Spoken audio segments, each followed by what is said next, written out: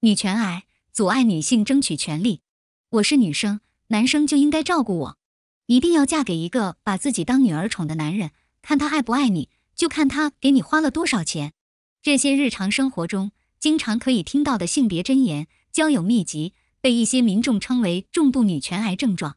女权癌大行其道，啼笑皆非，背后暗藏隐忧。缺乏理性的女权癌，甚至是女性追求性别平等路上最可怕的敌人。一，你负责挣钱养家，我负责貌美如花。他有多爱你，就看能有多容忍你做。女人是用来哄的。九零后白领沈女士有一颗公主心，在她的观念中，女性性别赋予了自己得天独厚的优势和特权。女人是用来被爱的，是她的口头禅。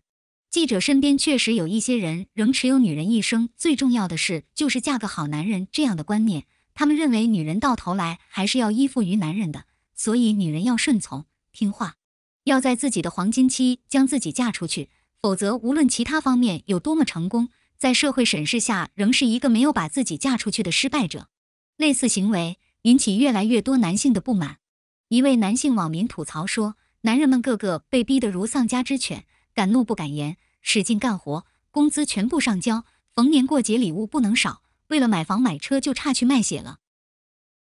觉得长了一个子宫，全世界都要围着他转，他能生孩子就是对人类最大的贡献。天天委屈的模样，像受了全世界的迫害。”江苏一位结婚四年的丈夫如此对记者说：“一些观察人士将这种现象称为‘女权癌’。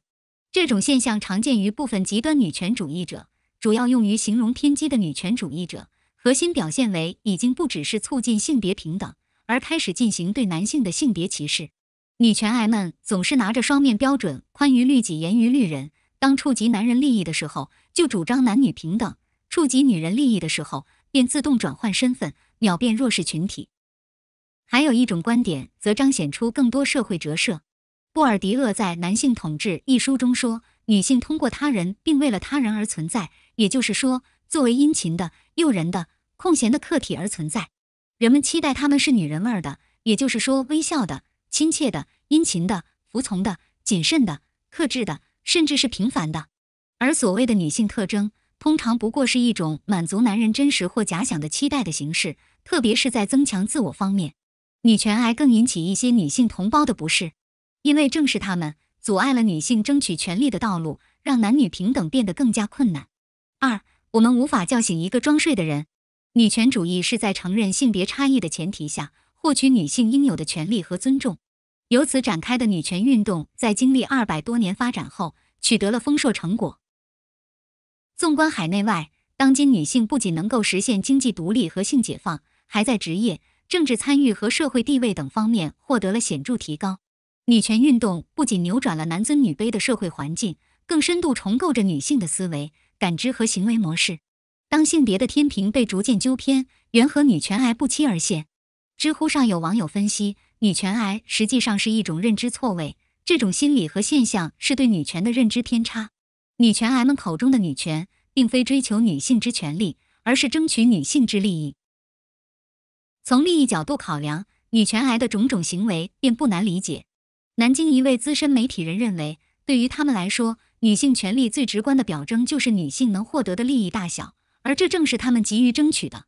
比如，在一份优渥的工作面前，女权癌们不仅要求和男性享有平等的发展和晋升机会，甚至还要求男性主动让位。谁叫你是男人，男人就该让着女人。而对于一份粗重劳苦的工作，女权癌们则是断然不会去跟男性争的。一位女性心理学家对这种表征进一步剖析，发现女权癌们其实是精致的利己主义者。他们口头上声称男女平等，但往往当需要他们付出或者涉及自身利益时，便下意识转换身份，把自己置于弱势群体之中。所以，女权癌们不仅没有去争取男女平等，反而是在制造新的男女不平等。这无疑是对真正女权运动的一种伤害。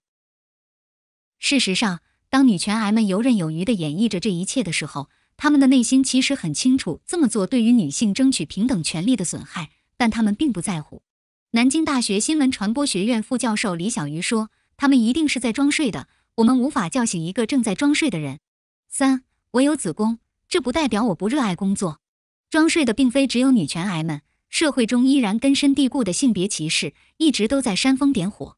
剩女弱女子、女汉子，这些被媒体创造出的词汇看似平平无奇，却是带有明显性别歧视的普遍存在，引导着大众将女性置于弱势地位，以一副高高在上的姿态去品评和定位她们。李小鱼说：“这种潜移默化，让女权癌们有了生长的土壤，甚至让他们变得更加可怕。每一个人，无论性取向、肤色、性别、国籍，都应该被平等对待，享受平等的权利。希望越来越多的人能知道，女性主义不是偏激和冲撞，它不以自身性别发动攻势，理智的处理好自己的情感和生活。女性要懂得爱自己，而不是把希望寄托在男性身上。”或者企图用男性的爱来证明自己。我们在尊重性别差异的同时，也要坚守自我选择，明白自身的意义，创造价值远远比依附他人更为重要。希望女性在追求权利的同时，能够看清趋势，不要操之过急，否则只会适得其反。毕竟，在几千年的社会影响下，要真正做到男女平等是需要时间的。女性主义者能做的，依然是努力变得强大，去争取话语权。苏州一位受访的知识女性说：“我有子宫，这不代表我不热爱工作。同时，我们还要采取温和的方式去叫醒那些装睡的人。缺乏理性的女权癌是真女权最可怕的敌人。”晚安。